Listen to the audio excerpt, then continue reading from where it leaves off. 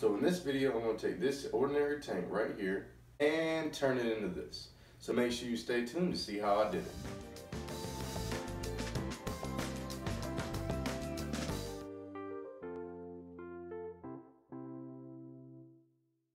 Hey, what's going on all my reptile lovers? My name is Josue from Josue's Exotics. And if you haven't seen any one of my videos before, I make care and setup videos about reptiles and amphibians. And I'll let you guys know about my experience I have with them. So if you would like to learn more information about reptiles and amphibians, make sure you subscribe to the channel down below. That way you can keep up with all my latest videos. Alright, so first things first, we gotta make sure we clean out the aquarium and make sure we got a pretty clean environment for our new little animals to live in.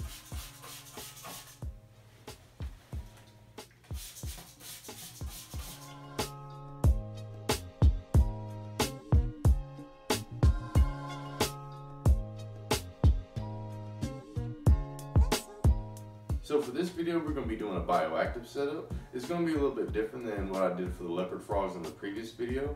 I'll put a link to that video on the top right side of the screen over here if you want to check that out and come back to this video. But uh, the very first thing we got to do is we got to actually put a drainage layer down here.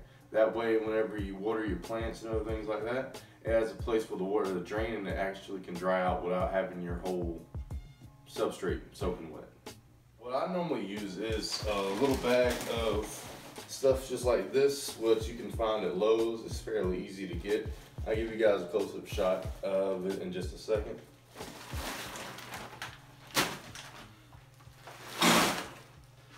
But yeah, pretty much, uh, we're just gonna fill a small little layer on the bottom of the aquarium. That way we can get a nice flat layer and we're gonna put a little bit of screening on top of it. That way we can separate the substrate from the rocks. I know you guys probably already know this, and it probably should be common sense, but I felt the need that I should probably say it anyway. Number one thing with this and dealing with aquariums, you do have to keep in mind that they are glass. So I would not recommend just opening up the bag and pouring the rocks directly into the aquarium.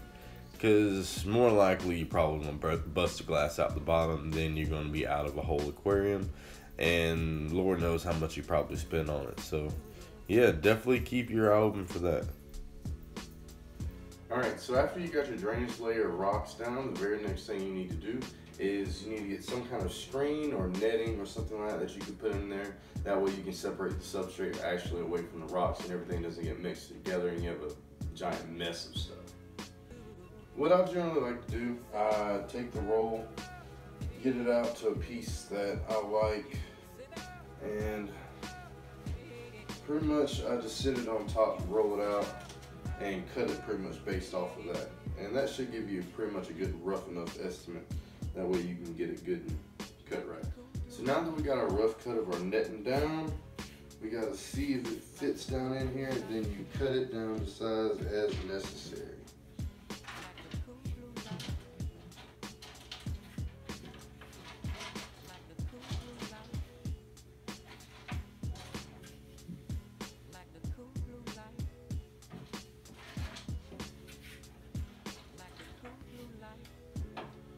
You kind of want a little bit to hang over on the sides.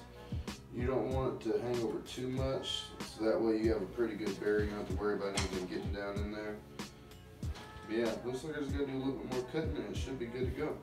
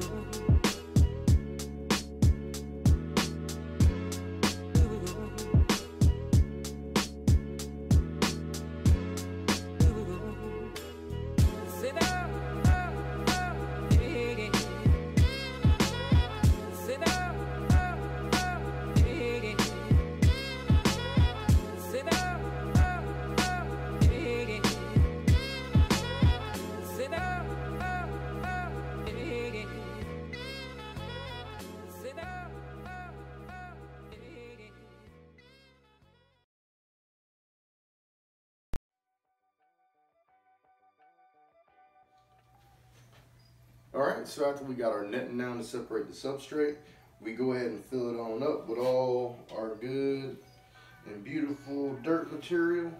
That way we can get ready to go and put our plants in here. Uh, one thing I am going to do, I'm going to try to keep a low side over here. So that way I can keep the water bowl over here and I may plant a plant. I may put some more, we'll see. But we're going to keep the higher side to be over here on the right.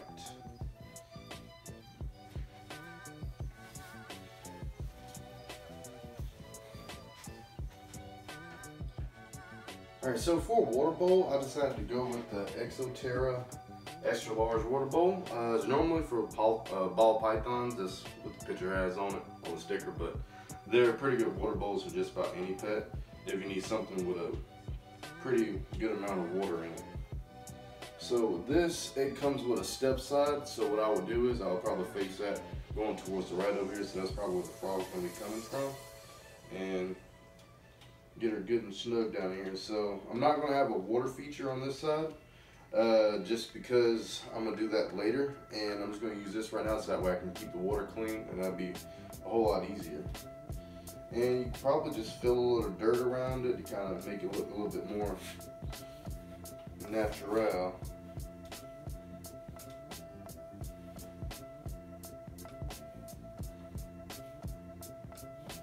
So if you're enjoying the video so far, make sure you take a second to smash that like button down below and leave a comment if you really like it.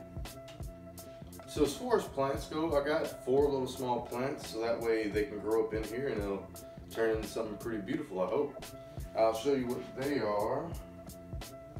And I gotta figure out where I wanna put them. Uh, I got this one, it says it is a Mammy Croton. Uh, it's a, co a codium, a, a codium. A codium is from South India. It's a pretty little plant. Uh, it's going to be a tropical plant. And I think this is probably going to work out fairly good with this. The next plant I have is a Janet Craig compacta. Uh, another tropical plant. I really like these a lot. I think they look really cool. Next one I have, this one, it didn't have a tag on it, but I think it's going to be really nice when it starts to grow up in there. And the last one I got is a fern. It is a maidenhair fern. And this one is probably going to look really cool in here with the frogs. So yeah, give me a second and I'll figure out where I want to place all these. You guys just stay tuned. To certain sections of the orchestra, as heard from those positions. Now, when played back simultaneously on two separate systems, the sounds are blended together to achieve a new dimension in sound, impossible to obtain in a monaural recording.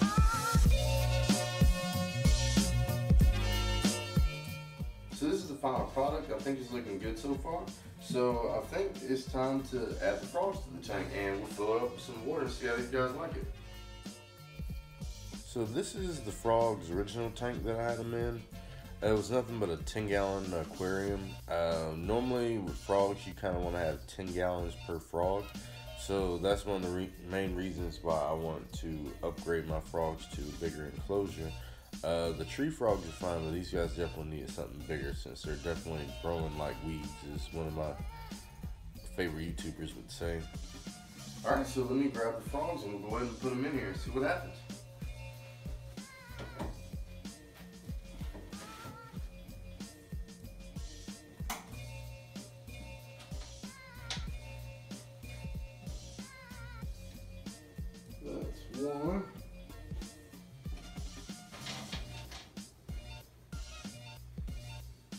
Number two.